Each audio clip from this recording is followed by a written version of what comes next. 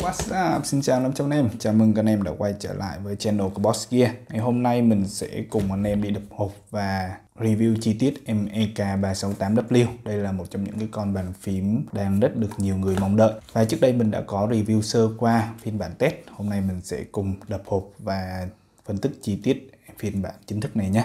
Ok, let's go.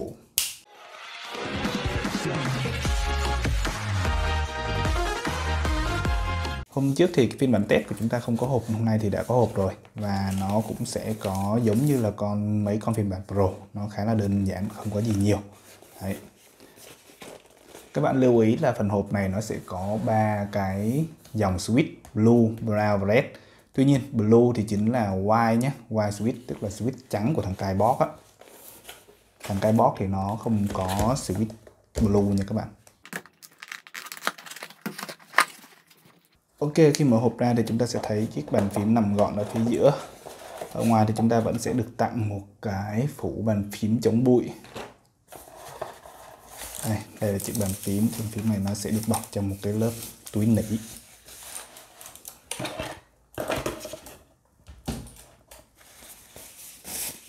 Ngoài ra thì chúng ta sẽ có thêm sách hướng dẫn sử dụng. Cái này tốt nhất thì các bạn nên giữ lại nhé, tại vì đây là phiên bản không dây và nó sẽ có cái hướng dẫn mình thao tác các nút dùng để kết nối cũng như là chức năng các nút. Một cái thẻ bảo hành. Ở trong hộp chúng ta vẫn còn một cái dây cáp nữa. Và ngoài ra thì chúng ta còn được tặng thêm một cơ số các phụ kiện ví dụ như là nhổ cái cáp này. Và có tới à, nhổ switch nhé đây là cái nhổ switch cái chỗ switch này thì khá là mong manh và nhỏ. Và chúng ta sẽ được tặng thêm 5 cái switch dự phòng nữa. Đấy, đây là khai box wire rồi, như vậy là trong hộp đã hết. Ok, quay trở lại với nhân vật chính của chúng ta ngày hôm nay MEK368W đây là phiên bản không dây sử dụng Bluetooth 5.0 Về cái mặt ngoại hình thì hầu như nó không có thay đổi gì so với phiên bản test. Cây thì vẫn là kiểu high profile và phía sau thì chúng ta vẫn sẽ có những cái nâng hạ độ cao của phím. Có bốn cái chân để chống di chuyển chống chân trượt. Ở phía dưới thì chúng ta sẽ thấy có một cái công tắc rất là nhỏ. Công tắc này chính là công tắc on và off bluetooth. Dùng để bật tắt à, bàn phím đó, bật tắt bluetooth của bàn phím đó. chúng ta sẽ có sử dụng cái cổng tai C ở ngay đây. Đó. lần trước thì mình chưa có sâu này. Và chúng ta vẫn sẽ có một cái đường à, bắt chéo ở đây nhìn nó cũng không được đẹp lắm. Logo Idora được in ở phía bên cạnh của cây phía trước. Ok về cái thông số thì em này vẫn sẽ sử dụng à, ba uh, dòng switch của Kaibox đó là Kaibox White tức là tương đương với Blue Kaibox Red và Kaibox Brown. Red với Brown thì nó vẫn như cũ vẫn cho cái cảm giác đó là gõ chân tuột và gõ có khớp. Mặt của bàn phím thì vẫn được hỗ trợ đó là hot swap ba chân và cái hot swap này thì à, vẫn rất là dễ dàng thay thế tại vì đó là hot swap của thằng Kai. Và về như cái thiết kế tổng quan bên ngoài thì hầu như nó không có gì thay đổi so với phiên bản test cho nên mình có lẽ mình sẽ không nói gì thêm. Bây giờ mình sẽ sang cái phần đó là test cái hiệu năng và cái tiếng gõ của ba phiên bản white, red và brown nhé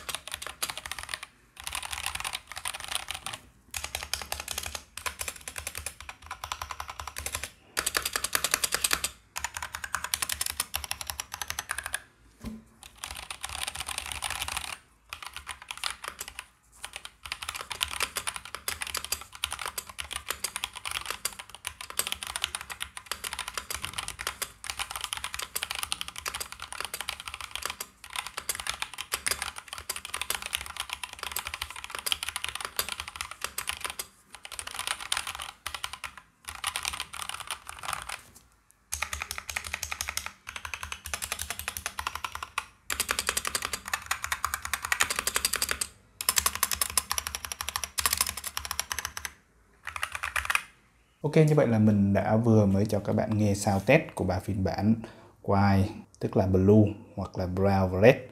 Thì như các bạn thấy là những cái thanh dài như nút enter hay là nút shift, nút back, thì thực sự những step này nó vẫn chưa được ngon lắm.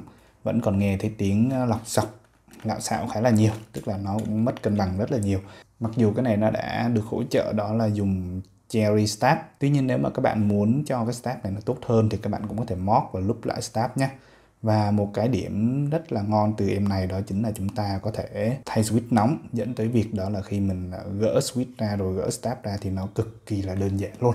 Cho nên rất thuận tiện cho các bạn loop cũng như là mod lại stab còn lại về cái cảm giác gõ những nút đơn thì phải nói là nó cực kỳ ngon. Như à, các bạn biết đấy cài bóp thì nó sẽ cho cái cảm giác gõ mượt hơn. Hoano hay là Automu rất là nhiều cảm giác nó một trời một vực luôn đấy. Nếu mà các bạn chưa trải nghiệm thì các bạn nên trải nghiệm thử một lần cho biết. Và nó còn kết hợp với cái bộ keycap rất là ngon này nữa, keycap XDA thì cho cái cảm giác gõ nó sướng tay hơn nhiều và cũng như là gõ nhanh hơn rất là nhiều so với lại cái phiên bản dùng OEM và có thêm một cái điểm cộng nữa là trong hộp chúng ta sẽ được tặng rất là nhiều phụ kiện. Ví dụ như là cái nhổ switch này, cái nhổ keycap này và có cả những cái switch dùng để thay thế nữa. Thì cái này thực ra nếu mà đối với những cái dòng ờ, hot swap ngày xưa thì nó cũng không có tiện lợi lắm nhưng mà đối với lại cái dòng mới này thì nó cực kỳ là hữu dụng. À, nếu như mà chúng ta muốn thay à, keycap cũng như là vệ sinh hay là thay switch nếu mà nó bị chập chờn đỡ một cái công gọi là đi bảo hành nữa. Và những cái dòng bàn phím như thế này thì chúng ta có thể móc lúc độ các kiểu nó cũng dễ hơn rất là nhiều đặc biệt là đối với những cái dòng white box như này, nó không kêu như những cái dòng blue của thằng Cherry hay là của thằng Otemu hay là thằng Hano, mà nó kêu rất là sướng tay, nghe rất là giòn và cũng như nó không có bị vang hay là tiếng đanh. Của Cherry thì nó sẽ kêu hơi nhỏ, còn à, của con này thì nó vừa kêu to mà nghe lại khá là, cái tiếng của nó khá là thanh. Ok, vậy chúng ta sẽ chốt lại về em này nhé. Với cái tầm giá khoảng tầm 1 triệu 290 ngàn thì em này phải nói là cực kỳ đáng mua và có thể nói là trong phân khúc là rất khó có em nào có thể đánh bại được em này. Tuy nhiên thì với tầm giá 1 triệu 6 thì các bạn phải cân nhắc kỹ. Vì uh, với tầm giá 1 triệu 6 thì chúng ta còn rất là nhiều đối thủ khác ví dụ như Keychron hay là những con NG68 vân vân. Tuy nhiên thì những cái con đấy thì về cái chế độ bảo hành cũng như là một số mặt khác thì nó cũng vẫn không bằng. Ví dụ như em này thì được bảo hành 2 năm Keycat thì phải nói là cực kỳ xịn sò rồi. À, đổi ngược lại thì những con khác thì giá nó sẽ cao hơn một xíu nhưng nó sẽ có thêm led RGB và một số các chức năng khác. Đó là tùy vào cái sự lựa chọn của các bạn thôi. Ok, các bạn nghĩ sao về chiếc bàn phím này? Hãy để lại à, comment ở phía dưới phần bình luận nhé theo mình thì nó rất là đáng mua đấy. Và mình vẫn thích nhất là dòng red. Còn những dòng này thì nghe khá là ổn. Nói chung các bạn à, thích bản AK thì có thể dùng sử dụng à, cái box Y. Còn nếu mà các bạn muốn mình ra video độ móc em này thì nhớ để lại comment cũng như like video nhé. Cảm ơn các bạn đã theo dõi video. Bye bye.